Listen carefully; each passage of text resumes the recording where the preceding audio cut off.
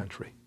Congressman Al Green, I want to thank you for being with us. John Bonifaz is also with us, Free Speech for People. John, you came on Democracy Now! like within a week of the inauguration, uh, calling for the impeachment of Donald Trump.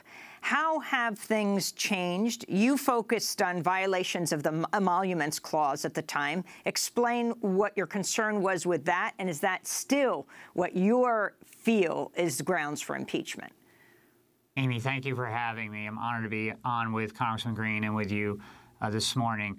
We have launched this campaign with Roots Action on the day of the inauguration at impeachdonaldtrumpnow.org. More than 1 million people all across the country have called for this impeachment investigation in light of the president's direct and ongoing violations of the anti-corruption clauses of the Constitution, his refusal to divest fully from his business interests, placed him on a collision course with the Constitution from the day he took the oath of office.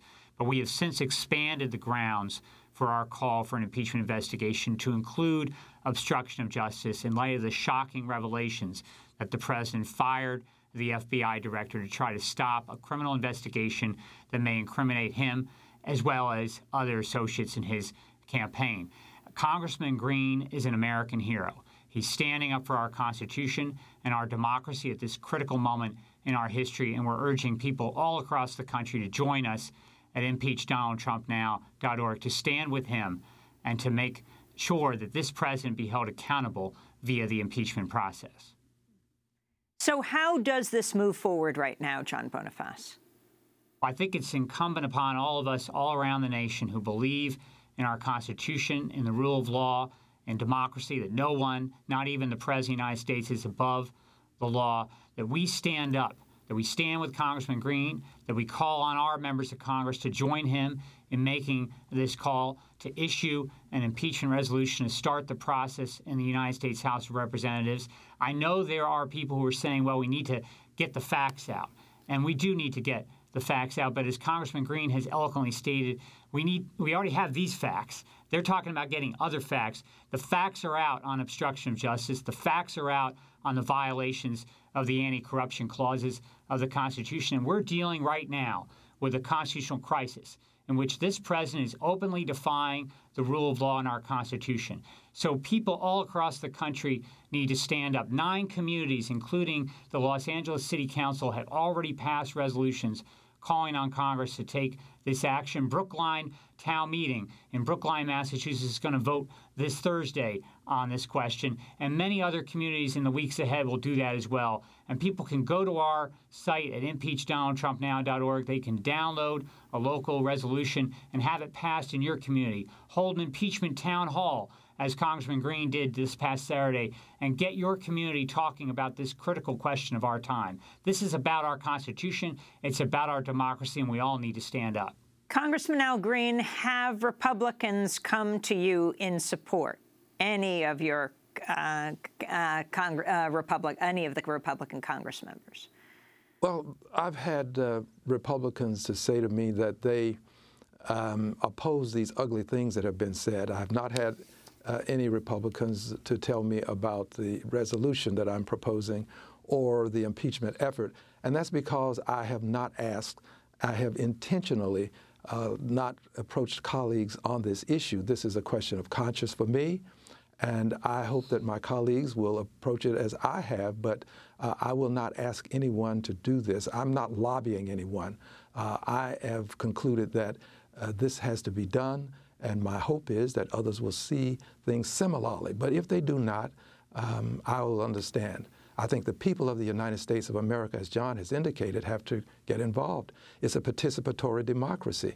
If the people will ad advance their will, the will of Congress will be advanced. Um, the Hill has reported that Congress member Justin Amash of Michigan, Republican, um, admitted Trump may have committed an impeachable offense if he asked FBI Director James Comey to drop the FBI's investigation into Flynn.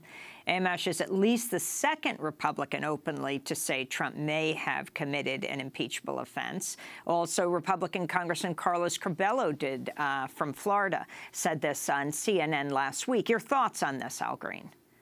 Well, thank you, Amy. I think a good many people see the obstruction of justice um, and a good many people understand that obstruction of justice is impeachment. I think it's beneficial that three members of the Republican Party have given these indications. But I also understand that um, there are a good many members who will be silent until given the opportunity to vote. And at that point, they will voice their opinions. Uh, my hope is that uh, they will have heard from enough of their constituents so that they better understand the will of the people. I think the will of the people will prevail. It's just a matter of making sure people understand what the issues are. And finally, this on this question of others. Um, I believe that others who desire to speak up uh, will have the opportunity to do so as more things come out, as there's more evidence presented. I think that we haven't seen the last of this um, evidence that is ultimately going to be presented. But I also know that we already have enough to impeach because of the firing and because the president confessed on national television that he did it because of the investigation. Well, Texas Congressmember Al Green, John Bonifaz of Free Speech for People, thanks so much for joining us. We'll continue Thank to you. follow you. your actions on the floor of the House, Congressman Green, um, and this whole impeachment movement around the country. This is Democracy Now! When we come back, we'll go to London to speak with Tariq Ali uh, about the, uh, the suicide attack at the Manchester Arena. Stay with us. Is